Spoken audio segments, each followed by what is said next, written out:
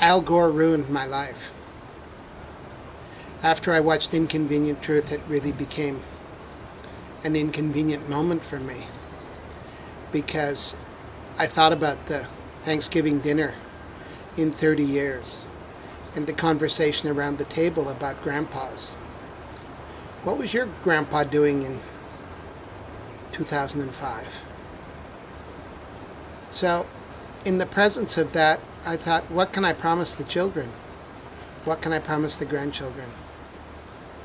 And although I'm not clear that anyone can make a difference at this point, I'm certainly not going to give up the possibility of making a difference.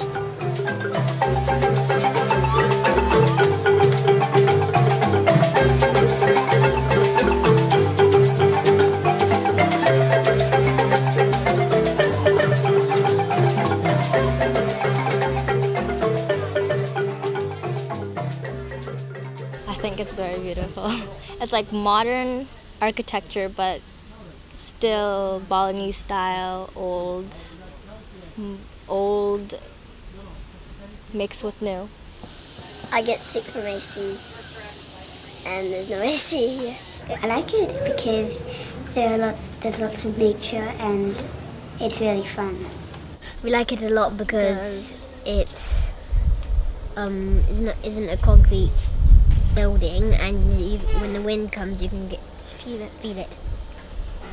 I just, I think it's really cool. I mean, I would have never thought that schools could be like this. I see it as my responsibility to ensure that whenever any children leave this school at whatever age, but if they were to leave us at 16, that they would leave here with a green school master key. And I would see that key enabling the children to, uh, to open any door to whichever future they would like to go into.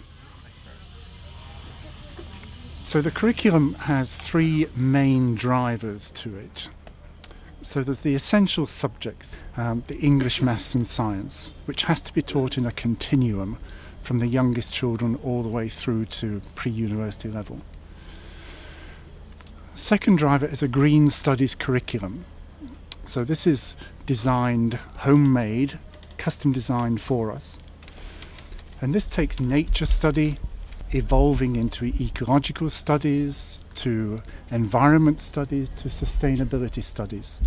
Again, in a continuum, and it's a hands on, mud between your toes approach uh, to greening.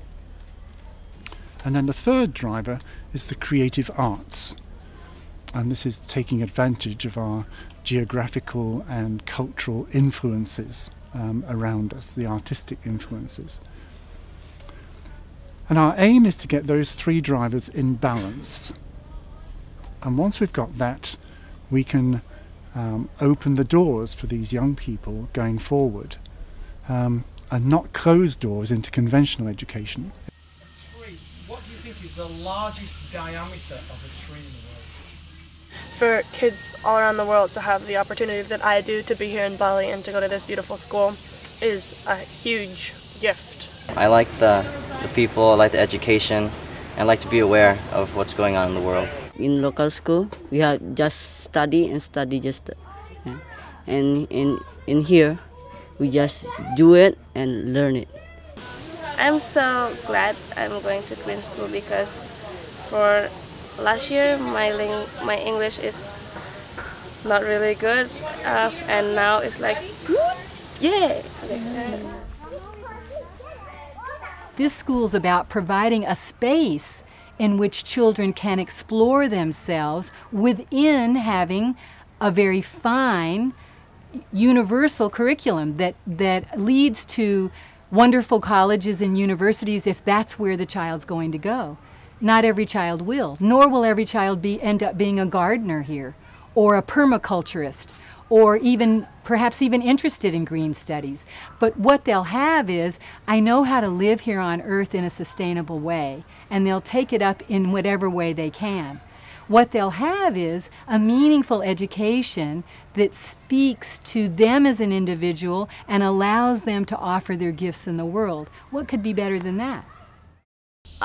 I'm a risk taker, but I'm not willing to put my kids in a high school situation where they can't go to college afterwards. And you know that's the, that's going to be the success of Green School is is providing a curriculum that lets kids choose Oxford, that lets kids choose a life of activism, that lets kids choose whatever they want to do and doesn't limit them. So, Green School is is going to be a zone. It's really a, a, a seed, a sprout. The dream is to have it become a model, a small model community focused on green, focused on conservation, focused on green living. And the school has a mission as well. We are dreaming of making a green vortex here, a vortex that will take children imprint them with green, and when they spin out at the top of the high school, they will go on to universities around the world. And the Balinese members of that group, we dream, will come back to Bali and become green leaders because leadership is one of the most important ways into the future.